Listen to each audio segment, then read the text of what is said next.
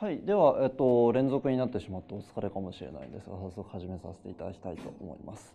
今回、えっと、僕の方のテーマといたしましては、国民性、まあ、あのよく県民性とかでバラエティで笑い物になってるみたいな言葉なんですが、そういうようなあの内容について真面目に考えている人たちがいるっていう話をちょっと簡単にさせていただきたいと思います。でまずあの簡単に自己紹介というところをさらっとだけお話をしておきます。あの私正木と申します。でえっと、FFP3 期、えー、2014年ですかね頃にあの終了いたしまして今あの同じプログラムの中で特任研究員としてあの働かせていただいています。で本日お話しさせていただく内容にも関係してくるんですが専門分野といたしましてはもともと社会心理学心理学の一種をやっているっていうそういうようなあの専門の分野になっています。なので今日のお話も国民性というから政治家それとも社会学かみたいなのかもしれないですけど心理学です。っていうところをちょっと事前にお話をしておきます。で所属でいくとまあ文学部になるんですけれどもそういったところ出身のあのバックグラウンドという形になります。で早速ちょっとあの本日のテーマに入る前に国民性っていうお話をちょっと簡単に理解していただくためのあのよく言われるジョークみたいなものをちょっとご紹介します。これご存知の方いらっしゃるかもしれないんですけれどもえっと、沈没間際のタイタニック号、まあ、あの沈みそうになっているっていう状態なんですが救命ボートがどうしても人数に比して足りていないって急いでわーってお客さんが殺到してしまうとあのとんでもないパニックになってしまう。でという時に船員ないし船長としては男性の客にあの船にちょっと残ってくださいっていうふうに説得をしたい。っていう時にいろんな国の人に対してどういうようなあの伝え方をしたらうまく納得をしてもらえるかっていうそういうようなあのものを示した簡単なあのジョークみたいなものになっています。でこれがですねあの、まあ、もちろんジョークなので端的に言ってるんですけどイギリスの方に対しては「まあ、君こそジェントルマンだだから残ってくれ」っていうふうに言えばまあ伝わる。でアメリカの出身の方に対しては「君こそヒーローだ」っていうふうに言い方をすれば、まあ、残りたくなるだろうっていうような話が言われています。でちょっとここで簡単に考えていただきたいのがじゃああの日本人に対して日本の人に対して何ていうふうに説得をしたら船に残ってもらえるかちょっと簡単にイメージをしていただければと思います。特に当てたりはしないのであのお気楽どうぞ気楽に考えていただければと思います。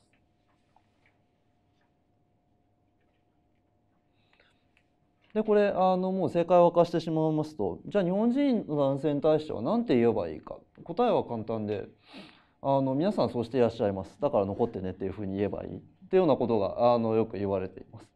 でこれはもう本当にジョークそのものの話なので、まあ、本当にあの笑い話程度の話になっています。でただこういうあのある種の国民性といいますか国ごとの特徴みたいな話っていうのが、ま、本当にあるんだろうかっていう話じゃあそんなあるかないかっていうのをどうやって検証すればいいかみたいな話そういったことを実は真面目に考えている研究分野研究者がいるっていう話がこれは本日の概要のところになっています。で今日の目的といたしましては日本人の相互協調性ちょっと漢字の連続になってしまっているんですが先ほどみたいな周りの空気を読む傾向でこういうのを例にして文化心理学っていう心理学の一種の考え方っていうのを知っていただきたいというふうに考えています。で達成目標3つもう今お話ししてしまったところとつながります。東と西、まあ、東洋西洋っていう軸で切った場合にどういうような文化差が実際にあるんだろうかというのが一つ。でじゃあそれを文化差があるっていうふうに言う根拠どうやったらそんなことが分かるのっていうところについて方法についてっていうところを2つお教えしたいと思います。で最後じゃあその文化差があるとしてじゃあその仕組みだとかあるいはその起源どこからそういう例えば日本とアメリカの考え方の違いみたいなものが来るのかどこから生まれてくるのかっていうものについてこれまであの研究者がどういうことを言ってきたかっていうことについて、まあ、簡単にご紹介をしていこうと思います。でおおむねあの今の内容に対応した形で第1部第2部あと最後のところで時間が余った際にはあの最新の今まさに研究が行われているものが何なのかっていうのもご紹介していければなと思っています。じゃ早速あの文化差の実在性という話になるんですが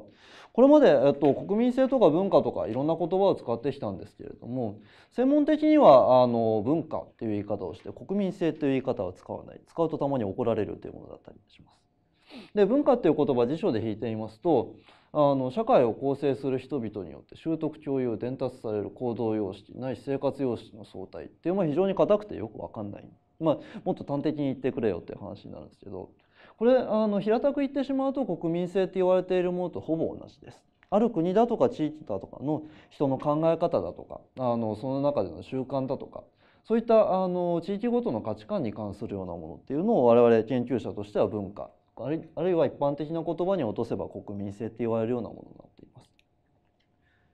でこれを研究している心理学者、まあ、あの国によって地域によって価値観が考え方が違うっていうものになりますので人の心の問題であるでそれを研究している分野っていうのはカルチャルサイコロジーって言われるような分野文化心理学って言われるような研究の分野の人たちがこういうことをあの日々真面目に議論しています。でかなり国際的にもあの日本が強い分野だったりもしています。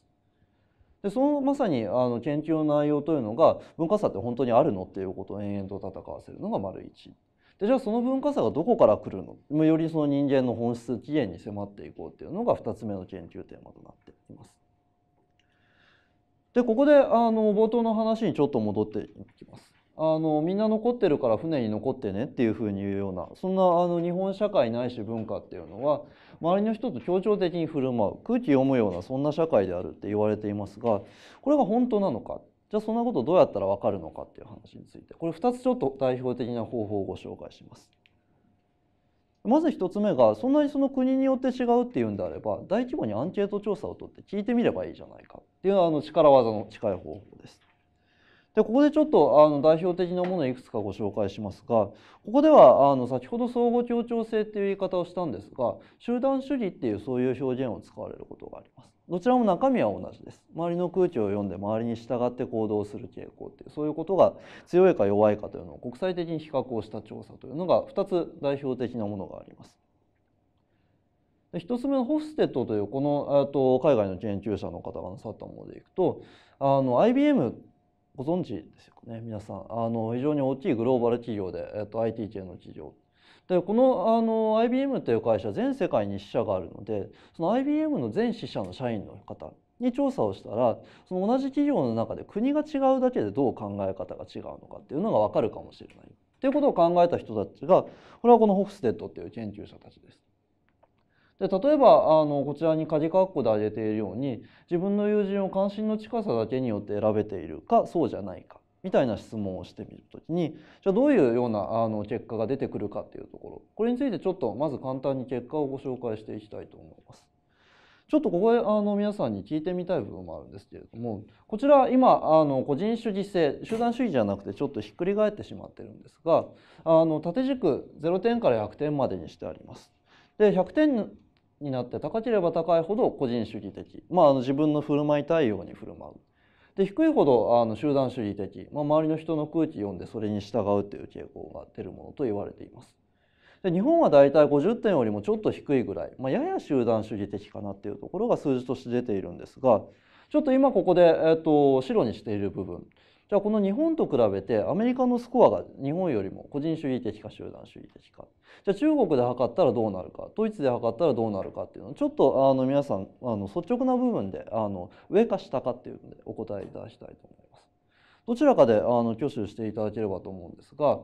まずあのアメリカについてアメリカは日本よりも個人主義的っていうふうな回答になるだろうと思う方挙手いただいていいですか？はいありがとうございます。じゃあアメリカは日本よりも集団主義的な方個人主義得点が低いんじゃないかというふうに思う方はいありがとうございます。今あのお答えいただいたところ実際答えを明かしてみますとこういった形になります。聞いてみるとどうなるかというとやはりアメリカのあの、まあ、一般的なイメージにそぐわない形で、えー、とそった形で個人主義の得点っていうのが実際にあのスコアが高くなるということが言われています。でもう一つちょっと聞いてみようと思います。じゃあ中国で聞いたらどういうふうになると思うかっていうのをちょっと考えてみてください。中国で、えーと、質問をした場合に個人主義の得点が日本より高くなるんじゃないかと思う方手を挙げてください。はい、ありがとうございます。じゃあ中国は日本よりも個人主義の得点が低いんじゃないかというふうに思う方。はい、ありがとうございます。これ実はあの意見が皆さん非常に割れるところになっていましてこれ別のところでもちょっとこういうお話させていただくことあるんですけれども大体意見が割れます。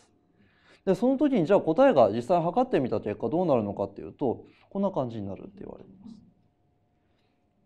でつまり中国というのは日本と比べると個人主義の得点が低いつまり中国の方の方が日本の方よりもあの集団主義的である、まあ、周りの人の空気を読んでそれに従って行動するということが言われています。でちなみにドイツは、えっと、日本とアメリカの中間ぐらいと言われています。でその中国ちょっとその意見が割れるっていうところこれがちょっとあの面白い話なのでお伝えしますとなんで、えっと、じゃあ中国の方は日本人よりも集団主義的っていうふうな結果になるのかこれ一説によるとっていうところで言われているのがこのあの質問した時にどういうふうにそれをイメージしてるかが違ってくるっていうことが言われています。で同じ聞き方したとしても例えばと日本人に対して集団の空気を読みますかっていうと何かその社会全体とかあの自分よりすごく広い範囲のものを想像しがちである。なので、えっと、日本人の場合は、まあ、そのいろんな人たちの本当に、まあ、会社だとかもうその会社の枠を飛び越えてあの広いところで空気を読むか社会全体で空気を読むかみたいなイメージをするのに対して中国の方どちらかというと集団っていう言葉を聞いた時に社会とか会社とかそういう大きいものというよりは家族みたいなより自分の身近なところだけをイメージしがちである。だからその家族は守るし、えっと、その中ではもちろん周りの人の考え方みたいなのを大事にするしっていうそういうところでそもそもその同じ質問をしているはずなのにイメージしているものが違うかもしれないでだからこういうふうなあの極端な結果が出るんじゃないかっていうこととかも言われていたりします。で、えっと、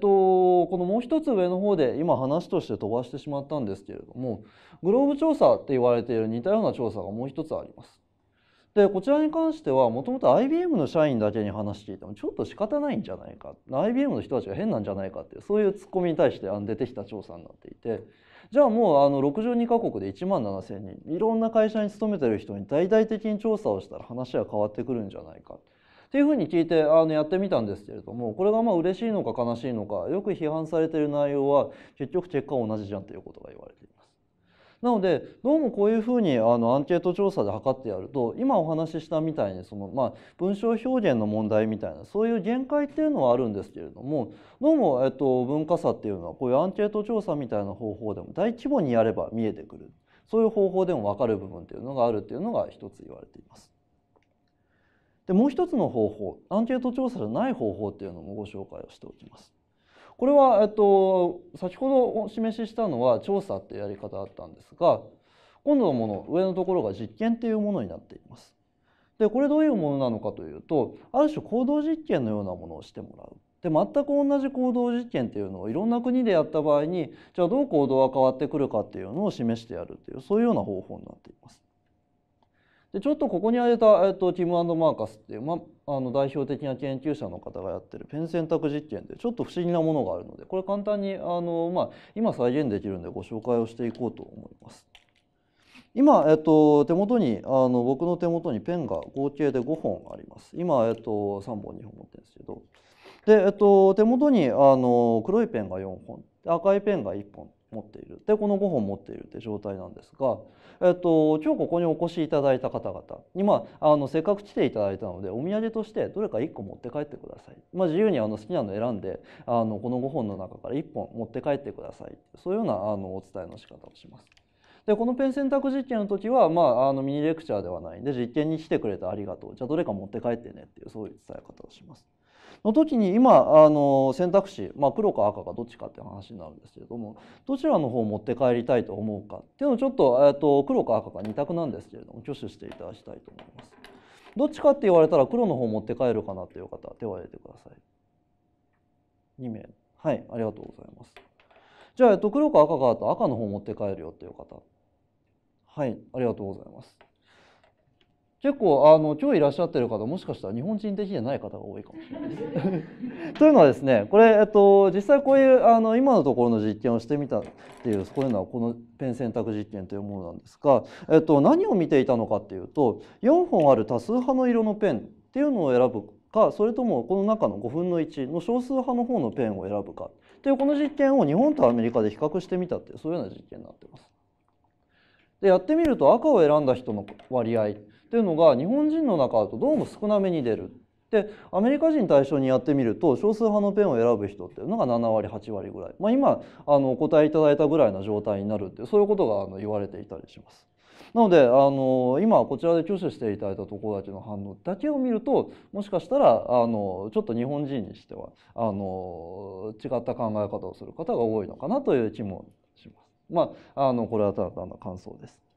でこれあのこういうところで実験をしてみたっていうところでいきますとさっきみたいに「あなたは集団主義的ですか?」ってある種聞くっていう話じゃなくて実際にこういうあのペンを選ぶみたいなそういう部分においても文化差がどうも実験をしてみると現れるらしいっていうことがあのアンケート調査以外の方法でもこういった行動実験でも見えてくるというのが一つあの方法としてこれまで言われています。でここでちょっと,、えっと実際皆さんに考えていただきたいことがあるんですがここでちょっと、えっと質問を1個させていただきたいと思います。どうも、えっと、アジア系の人たち、まあ、日本人含め、えっとまあ、協調的に振る舞うらしい。この、えっと、5本のペンがあればより数が多い方のペンを選ぶっていう傾向があるし、まあえっと、少数派のペンはそんなに選ばないっていう傾向があるらしいということが言われています。でここで考えていただきたいのがじゃあなんでそういう結果が出るのかこの実験に参加した日本人の人たちはなんで赤じゃなくて黒の方をこんなにみんな選んだのか？っていうところをちょっと,、えーと、素朴な意見っていうところで構いませんので考えていただければと思います。で今日、えっと、赤のペン選んでいただいた方が多かったので、まあ、問いの2からっていう話になると思うんですが黒の方を選んだ方は、えっと、まずあなた自身がなぜ多数派のペンを選んだか赤じゃなくて黒を選んだかっていうところをあの起点にして考えていただければと思います。であのその問題を飛ばしまして最初から赤を選ばれた方はじゃあなんで、えっと、一般的な日本人ないしアジア圏の方々っていうのは赤じゃなくて黒の方のペンを皆さんが選んだかっていうところについてちょっと、えっと、考えていただければと思います。でこのことについてあの先ほどのあの山本さんのやり方とほぼ同じところになります。まずあの一人であのこの問い1問い2についてなんで、えっと、多数派のペンを選ぶ傾向っていうのが高かったんだろうっていうのをちょっと素朴な意見ベースであの思いつきベースで大丈夫ですので考えてみてください。でその後あのじゃあどういった意見があるかっていうのを2人あのペアでシェアをしていただいてで最後にちょっとあのどんなお話が出たのかっていうのをちょっとこちらの勉強という意味でもお聞かせいただければと思います。でまず、えっと、どうしようかな。まあ、さほど時間かからないと思いますので1人ずつの、えー、とお考えいただく時間1分程度取ろうと思います。でその後2人ずつで考えていただく時間をあの3分程度取ろうと思いますので今からあの1分程度あのお考えください。終了の時間になったらこちらからアナウンスをいたします。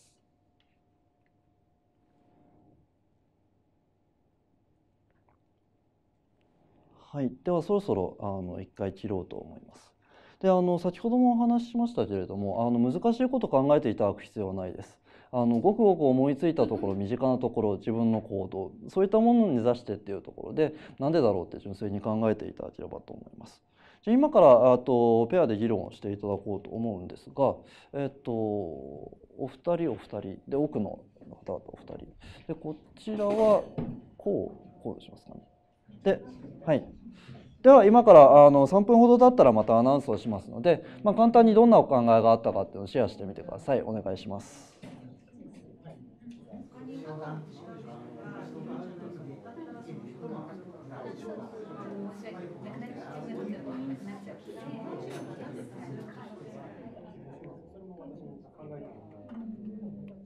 はい、ではすいませんまだちょっとお話盛り上がってるところかもしれないんですけれどもちょっと、えっと、時間の関係もありますのであのそろそろ一回切らせていただきたいと思います。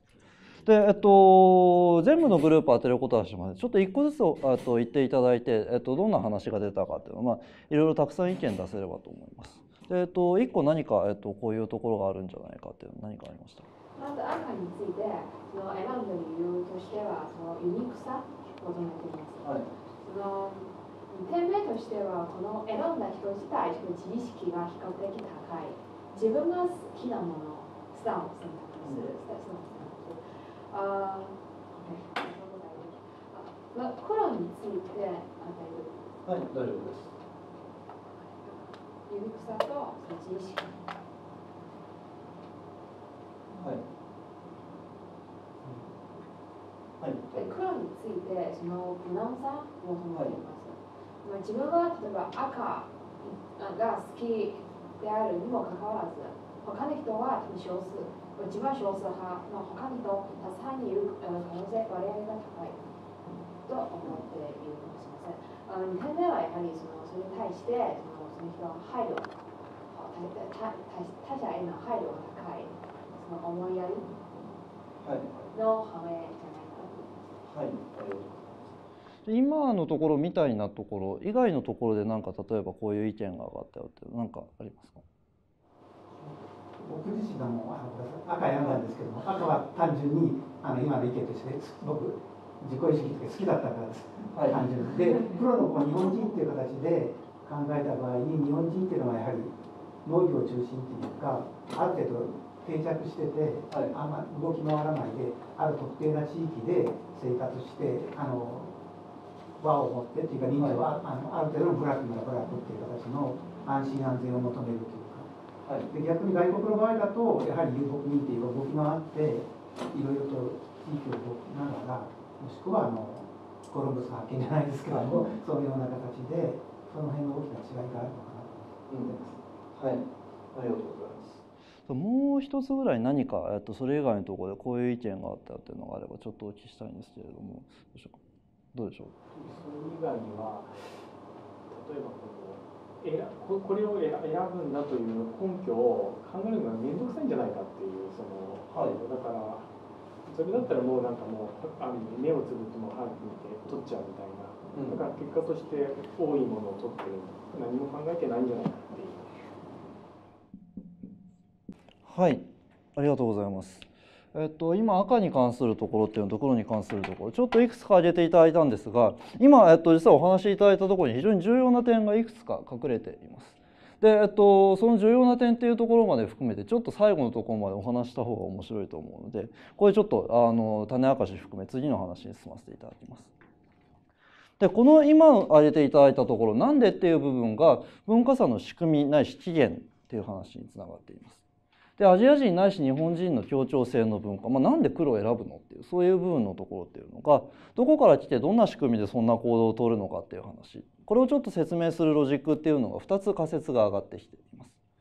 でそれがこちら、えっと、2つ挙げているんですけれどもこのちょっと難しい言葉入ってしまいます。1つ目が文化的自己感っていうそういう専門用語を使った説明の仕方。まあ、人っていうのは心の奥底から違っている、まあ、そもそも心の仕組みとか考え方みたいなところから違っているという話と2つ目の方があのそうではなくて心が違うんじゃなくて行動が違うだけなんだっていう、まあ、ある種のあのゲーム理論に基づくような仮説っていうのが話がされています。でそれぞれちょっと簡単な実験も含めて改めてご紹介をしていきます。でこの文化的自己感っていう、まあ、あの難しい言葉なんですが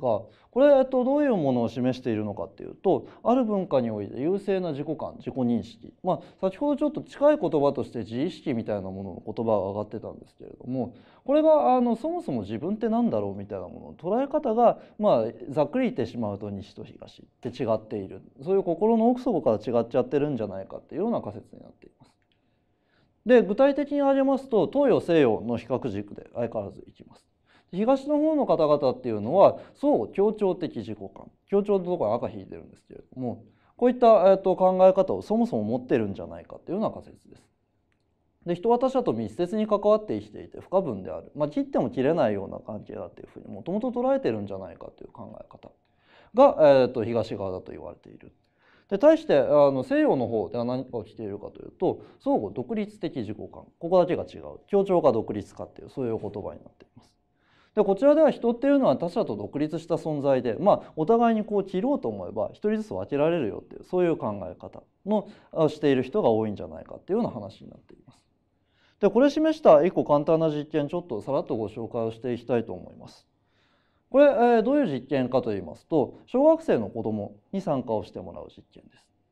でアメリカ人の中でもアジア系のあの出身のアメリカ人の方々とあのアングロサクソン系のヨーロッパ系のアメリカ人の子どもに参加をしてもらってアナグラムっていう課題をやってもらいます。でアナグラム、えっと、聞いたことある方挙手いただいていいですか？皆さん初めてですかねちょっとどういう課題なのかっていうのあの分かりにくいとあれなんで簡単に日本語にして持ってきました。ここに今大京学東4つの仮にあの漢字を示すカードがあったとしてこれをこう並べ替えて意味のある言葉にし直してください。で例えばこれはこういうふうに並べ替えて東京大学にするこれがあのアナグラムって言われる課題です。意味のない並びだったもの意味があるものに並べ替えてねっていうようなものになっています。でこれをまあ子供にやってもらうわけなんですけれどもここで一個ちょっとトリックがある。でこのやってもらう時に研究者の人、まあ、あの実験を指示をする人があなたのやりたい課題を選んでくださいっていうふうに指示を出すパターン。とそうではなくてあのもう命令しちゃうケース私はあなたにこの課題をやってほしいからやれっていうふうに言うケース。で3つ目はこれが、えっと、面白い話になるんですがあのお母さんがこの課題やってほしいっていうふうに言ってたよっていうふうにあの自分のせいじゃなくて人のせいにする。あのママがやってほしいって言ってたよっていうふうに言うケース。でこれで、えっと、この3つの言い方使い分けることによってそれぞれ、えっと、どれぐらい課題の中で頑張れるか、まあ、モチベーションに影響するのかっていうのをちょっとやってみたっていうそういうものになってます。でこれがあの実験の実際の結果になっているんですけれどもまずこちらあの点々がついてる方のバーというのはこれがあのアングロアメリカンヨーロッパ系のアメリカ人の子どもの結果です。で縦軸課題の正答数になっているんですがヨーロッパ系の子ども一番正答数が上がるのがどのケースかっていうと自分で選んだ場合まあ自分で選ぶと一番頑張るけれども誰かに指示されると全部嫌だっていうふうに言ってる。で対してじゃあアジア系の子どもの場合どうなってるのかこの黒のバーの方です見ていただけると分かると思うんですが一番あの正答率が上がったのどれか自分で選んだ場合でも命令された場合でもなくてあの母親はこれやってほしいって言ってたよっていうふうに指示を出した場合がこの時が一番頑張るっていうふうな結果が出ています。でこれどういうふうに研究者は解釈をしているかといいますと他人との関係性どれぐらい母親っていうものを自分に身近な存在として捉えているかそういうものっていうのがどうもモチベーションのような内的なものにも効いているっていうそういうようなものを持って文化的自己感そもそも他人との関係の取り方が違うからっていうような説明がなされています。で他方さっき出た意見のところでいきますとそのまあ黒の方が無難だから他の人に対して配慮をしているからっていうようなあのその話がちょっとつながってくる部分っていうのが次の仮説の話になっています。でつまり心の底から日本人が何か心優しいとかっていうよりは、まあ、あの周りに合わせてるだけじゃないか配慮してその場でそういう振る舞いしてるだけじゃないかっていう話をちょっとしていきます。でこちらどういう話なのかっていうとあの山岸敏夫先生っていう日本人の研究者の方がおっしゃっている話です。でどういう話かというと人はその行動が有利になるからそう振る舞っているだけ、まあ、別に心の仕組みがうんぬんっていうんじゃなくてそれが有利だからそれが無難だからそう行動しているっていうだけなんじゃないかっていうそういうような話がこれがあのゲーム論的なアプローチ進化ゲームアプローチって言われている話になっています。でこの主張を裏付けるようなあの実験をするためにこの先生が何をやったか非常にシンプルな実験です。先ほどのあのペンを選んでもらう実験の時にいろんなじゃあこういう場合だったらどう振る舞いますかっていうのを質問の聞き方を変えてやったっていうようなことを日米で、えー、と実験をしてみたっていうのがこの研究の場合になっています。でこちら ABC それぞれじゃあどういう前提条件を置いて質問したのかっていうのを挙げているんですがデフォルトの条件、まあ、何もせずにこの5本の中からどれか選んでねっていう場合とあなたが一番最初に選ぶでつまりあの赤取っちゃったら後の人は黒しか選べなくなるっていうそういうような状況を設定した場合。と最後 C の場合はもうみんな選び終えてあのあなたしか残らない。で周りに配慮する必要なんて何もないから好きに選んでねっていうふうに言う場合。っていうそういうので、えっと、どう行動が変わってくるかっていうのを見てやったというのになっています。で結果これもまた非常にシンプルなんですが特に何も指示をしなかった場合はあの、まあ、10年ほど期間空いて別の場所で実験をしたにもかかわらずやっぱり日本人の方の方がアメリカ人の方よりもあの少数派のペンを選びにくい。でただしというところであなたが最初に選ぶんだよ。つまり赤選んじゃったら他の人黒しか選択肢なくなるよっていうような配慮を求めるような状況設定にしてやるとさすがにアメリカ人の方も遠慮をする、まあ、周りの人に配慮をして行動する。で対して逆にあの最後の条件、まあ、あなたが最後だからもう好きなもの選んでねっていうふうに話をしてやるとあのアメリカ人的な行動を日本人ですら取るようになる。これはさっきあの意見としてあったように、まあ、周りの人に配慮をしなきゃいけないからとか無難だからみたいなそういうところの選択を外してやるもう純粋にその自分が赤が好きだからっていうので選びやすいような状況設定にしてやれば、まあ、日本人でも、えー、とアメリカ的に振る舞うようなことっていうのがあり得る。でまあ逆もあり得るよっていうような話っていうのがこれが、えー、とこちらの研究者の方々が実験で言っている話です。で2つ今お話をしてきましたがこういった文化差が生じている背景心の奥底から違うっていう仮説。と別に心の仕組みなんか違わなくてその場で有利なように振る舞っているだけだよっていう仮説。でこれあのどっちが正しいのかっていうところが答えが出てますって言えたら嬉しかったんですが、えっと、まだ分かってないっていう状態です。延々ともあの学会でホットイシューとしてずっといろんな研究をして戦い続けているというのが現状になっています。で最後ちょっとあの先ほどお話に上がった部分と関係してくるので最新の研究動向のところちょっと一つだけお話をしていこうと思います。じゃあそういう戦っている状況の中で一番新しい研究ってどうなっているのかどういう状況になっているのかっていうところをちょっと簡単にご紹介をしますとどんどん小さい話に行っていく研究進んでいく研究っていうのと大きい話に進んでいく研究っていうのに分かれてきています。で小さい話っていうのはどういうところかっていうともう脳科学の方法とかを使ってしまう。もうそんな行動の実験とかじゃなくて何かをする時にこの脳の動きがどう変わってくるかみたいなところを見てやる、まあ、あとは遺伝とかそういうものに踏み込んでいくっていうようなケース。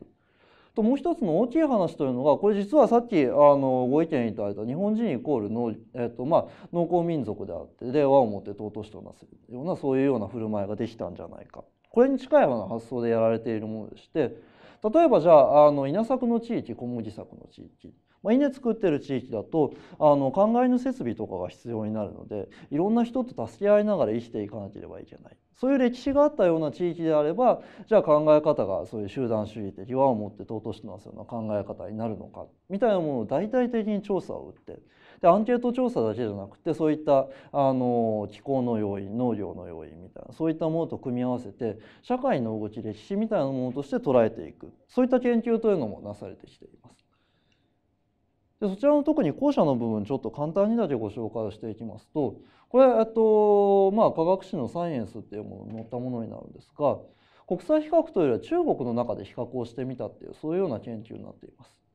で簡単にだけ飛ばして、えっと、飛ばしてお話をさせていただくと、えっと、稲作の地方小麦作の地方さっきあのお話しいただいた仮説ともちょっと共通するんですがあのやはりそういう考えの設備だとかそういったものが伝統的に必要になっていた地方ではまあ離婚が少ないとか個人主義的に振る舞いにくいとかそういう傾向が実際に出てきているということが、まあ、いろんな高度な統計解析の結果出てきているというところが言われています。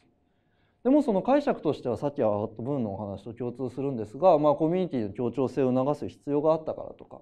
そういった部分のあの説明というのがなされているのはこれがまさに今いろんなところで研究が行われている最新の話というところになっています。で最後ちょっと駆け足になってしまったんですけれどもまとめ本日お話しした内容の概要というところを改めて整理をしていきます。達成目標のところで文化差に関するところ3つ挙げていますけれどもまずあの東洋と西洋の比較軸っていうところで、まあ、あの周りの空気を配慮するか相互協調独立っていう軸みたいなのが1個あるっていうのをご紹介をしました。でその後文化差があるってする根拠については実験という形で示したりアンケート調査をしてみたり、まあ、あとは実験の中でもいろんな状況を設定してやったりだとかそういったいろんな方法が使われています。で最後文化差の仕組みや起源というところについては先ほどお話ししたように心の奥底から違うっていう仮説と、まあ、振る舞いが違うだけ、まあ、心の仕組みなんか違わないよっていうような仮説というのはあのいろいろなことが言われているというのはこれがあの本日のお話の概要というところになってきています。あの何かあの持って帰っていただけるような話があれば幸いです。ではちょっとあの時間長くなってしまいました。こちらで終わりにさせていただきます。ありがとうございました。やってみてどうでした？あのまあ、やってみてというところでやはり時間があってその一言に尽きるっていうと 何分かかってたんですか？34、5分ぐらいです。ね